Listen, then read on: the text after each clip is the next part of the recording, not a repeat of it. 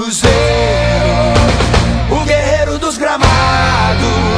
Sou cruzeirense apaixonado, e pra sempre eu vou te amar.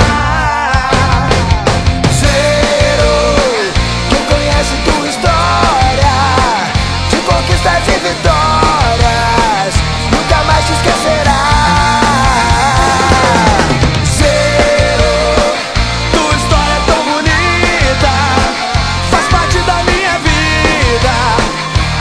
filhos vão voltar.